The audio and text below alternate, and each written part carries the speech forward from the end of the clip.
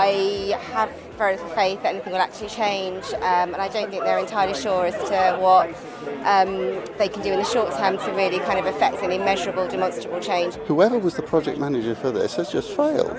They knew about three weeks beforehand it was going to fail, so why did they? I mean, more or less said he was going to implement a timetable that they knew wouldn't work.